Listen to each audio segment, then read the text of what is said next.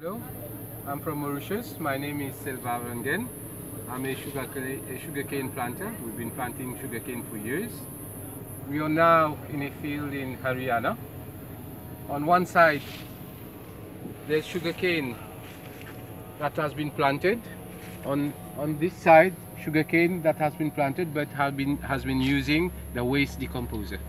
We can see the difference between the two two sugarcane here, the sugarcane that has been using the waste decomposer is much thicker and it's much higher as well. On the other side, the sugarcane is weaker, it's thinner, it's not that high, and it's been uh, falling apart.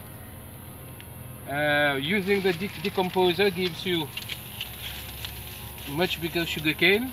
The yield will be much better per acre or per hectare and so it's very uh, advisable to use uh, sugarcane with, with the waste decomposer.